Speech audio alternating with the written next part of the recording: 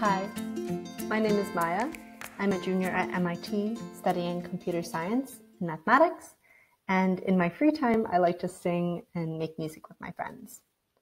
Today, we're going to be learning how to make a program that can navigate through a maze in Java. First of all, what do I mean when I say a maze?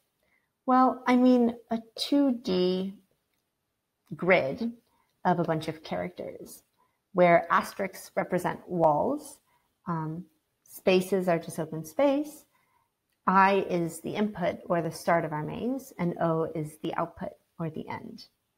So you can notice here for this maze, if we wanted to get from I to O, we would have to go down twice, left once, and then down again.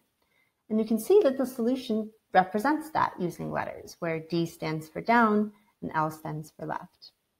Now in this maze, we start over on the left-hand side.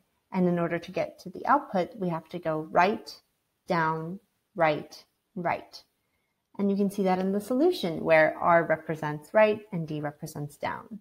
We don't have an example here, but if there was a, for a situation where we wanted to go up, we would use the character U. So let's see what an example program does. When I run this, the first thing it's going to do is ask us for the width of our maze. So I'll do one of the example mazes that we said, and that one was just four by four. Then it asks us to enter the maze and it specifies all of the instructions I just walked us through. Another thing that it says is it asks for there only to be one correct path and no dead ends. And the reason is because if those two things aren't true, it becomes a lot harder to solve the maze. So let's type in the example, one of the example mazes I showed you.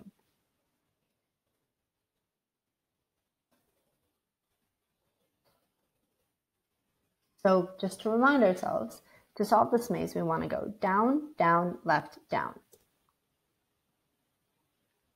And exactly that's what the program told us.